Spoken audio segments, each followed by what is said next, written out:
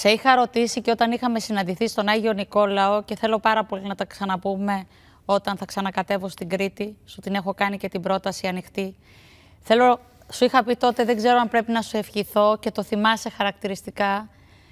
Α, αν ο πόνος σου θα μειωθεί, αν έρθει κι άλλο παιδί στη ζωή σας ή ουσιαστικά το νέο μέλος θα θυμίζει την απουσία, την απώλεια της μικρής Μελίνας.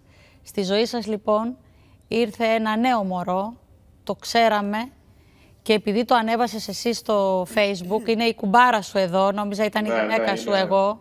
Ε, Φύλακας αγγελός μου είναι. Ε, να το μωράκι, σε καμιά περίπτωση ξέρω πως δεν αντικαθιστά στη ζωή σου τη Μελίνα. Όχι, όχι, βέβαια. Απάλυνε όμως τον πόνο σου. Ε, δεν μπορείς να πεις ότι πάλι είναι... Γιατί έχω μάθει να ζω τώρα με αυτό. Ε, Δυστυχώς μου έχουν καταστρέψει τη ζωή όπως σου έχω ξαναπεί.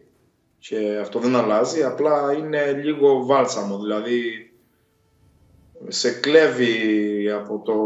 Αλλά ε, όχι, δεν μπορώ να πω ότι τον απαλαίνει. Δεν τον απαλαίνει γιατί όταν βλέπεις και τη δίδυμη αδερφή της και τη μικρή να μεγαλώνει ε, να περνάει κάποιες φάσεις, δηλαδή την πρώτη μέρα στο σχολείο, το κάτι θα, θα μάθει να διαβάζεις και αυτά και τη μικρή που παίζει, που κάνει πλάκα με την Έλλη. Θα λέ- έλε- λέω πάντα, μα πάντα, γιατί να μην είναι δίπλα και η Μελίνα, να κάνει και με αυτή. Δηλαδή η Έλλη, ξέρω εγώ, πήρε ποδήλατο, έχει μάθει τώρα να κάνει ποδήλατο, ένα μεγάλο ποδήλατο της πήρα.